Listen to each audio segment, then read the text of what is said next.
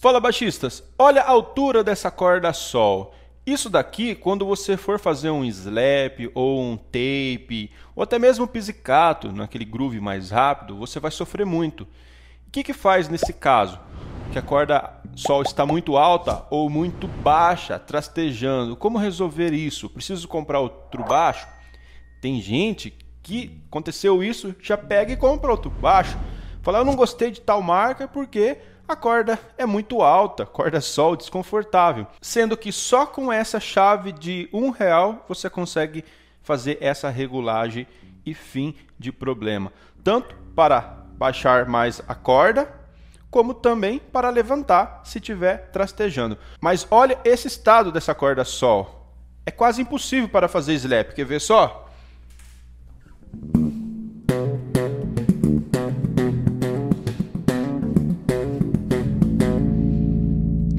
Então você vai se matar. Tem gente que não gosta do slap por causa disso. Eu não gosto do slap, dói muito meus dedos.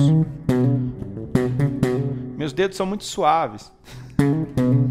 Sendo que você pode fazer uma regulagem e fim de problema. Primeira coisa, isso você consegue resolver na sua própria casa. Mas claro que vai da sua responsabilidade, né? Se estragar seu contrabaixo, eu não tenho culpa. Mas essa chavinha aqui vai dar um jeito nisso se o problema for em uma corda só. Se o problema for em uma corda só, da corda está muito alta ou muito baixa, você consegue resolver com essa chavinha. E não vai danificar seu instrumento não, mas cuidado, né? Então, primeira coisa, vamos aqui, ó. Essa é uma chave Allen, né? Ela meio parece um L. Bem aqui no carrinho, você vai e vai fazer a regulagem, deixando, descendo o carrinho, né? Você vai descer o carrinho. E qual que é o ponto ideal, André? Essa, esse é um detalhe, o ponto ideal. O ponto ideal é você baixar o máximo que você conseguir sem trastejar. Então você vai baixar aqui, ó, igual eu estou fazendo, tá bom?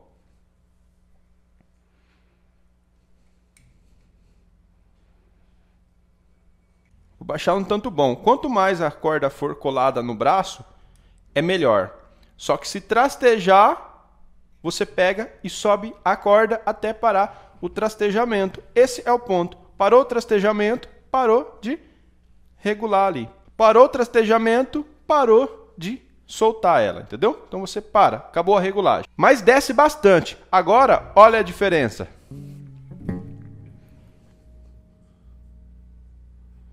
Parou de ficar levantada. Então a corda está bem colada e o slap vai ficar muito melhor.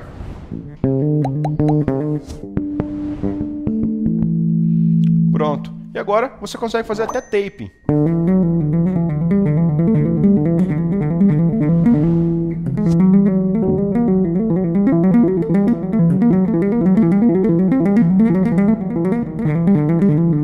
Com a corda levantada daquele jeito, jamais você ia conseguir fazer um tape.